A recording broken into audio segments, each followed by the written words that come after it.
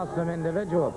I want to ask Percy Pringle, first of all, let's talk about that Southern Heavyweight No, let's don't talk about the Southern Heavyweight Championship. Let's talk about the missing link, the greatest professional wrestler in the world today in the Pringle dynasty. That's who we'll talk about, Mr. Solie. All That's right. who we'll talk about. All right, fine. Let me ask you this then. What sort of a, of a, of a training regimen do you keep this man on to keep him in, obviously, this phenomenal physical... Why does everybody want to know what about the missing link? Why they want to know everything about him, how he trains, how everything? Of course, he does the usual things, Gordon, the usual athletic things.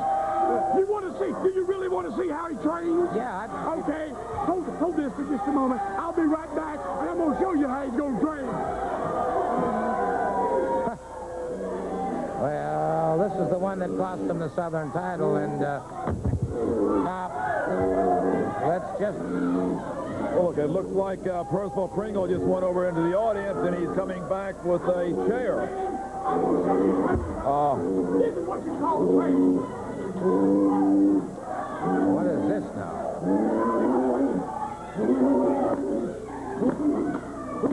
that's a training method. This is training, Solie. This is what you call training.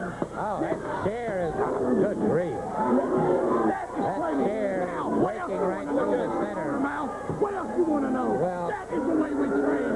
Blood, oh. guts, He's and going right straight through that chair, and I... Bl- Blood is pouring down his face now. I think that's quite enough.